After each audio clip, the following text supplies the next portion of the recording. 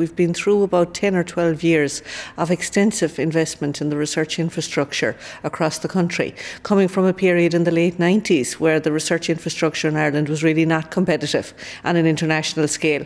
And then the, the investment through PRTLI, through the Department of Education, and through SFI, through the Department of Enterprise, Trade and Employment, have really transformed the landscape for research across the Irish university system, here in UCC and across all of our sister universities. So we now have research institutes, research facilities, which are comparable to the best at any international situation.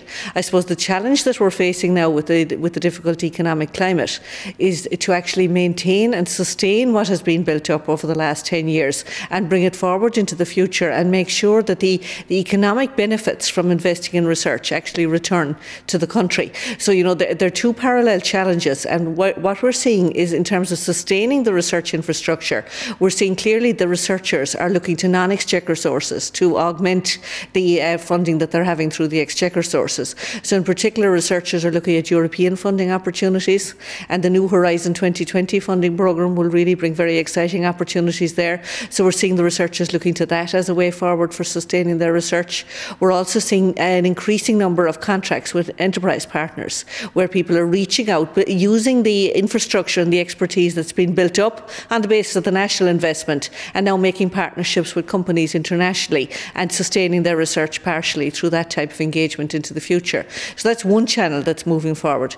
The other side of the equation is that there's a huge emphasis in making sure that as a country we've invested in research, Clearly, we've invested in it partly just for the general societal benefit of having a research active community, but also the long term return to the economic well-being of the country is very important. So we're seeing an increased emphasis in you know, making sure that the results of the research lead to innovation, lead to commercialisation opportunities, that we're starting to see the research benefit come out into the community as a whole. So nurturing that type of a space is equally important at this moment in time. I'm very optimistic. I think that you know we now have wonderful facilities here. We have people who can hold their hold their credibility in, in terms of the international research community.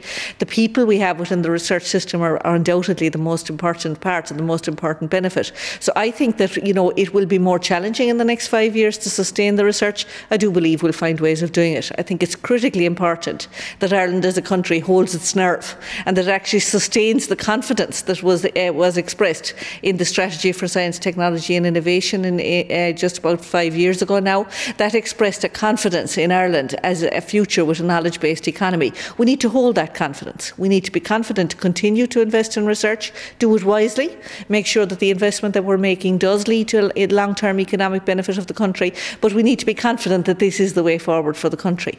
There's a very exciting research prioritisation process underway nationally at the moment, which is just nearing completion, whereby a large group of people spent much of the last couple of months looking at the areas of strength which have been built up over the last decade. Where is Ireland genuinely strong in research? And then matching that with where there are opportunities for economic development to really see what are the areas we should focus on as a country. And this type of an exercise is very important, coming from a period where we spent a decade building up research and now looking at how we can wisely sustain this into the future and make sure that the country benefits from that. I think in terms of that debate, the other element of it, which is extremely important, is the importance of the human capital. The largest benefit that comes out of research for a country is actually the people, the PhD students, the postdocs, who are trained in active research teams. They bring out with them into the workplace skills which are extremely valuable and ext makes them very adaptable and makes them very, very critical for companies in Ireland where they're trying to bring in new innovations from overseas. Having people trained in a top class research environment is extremely important.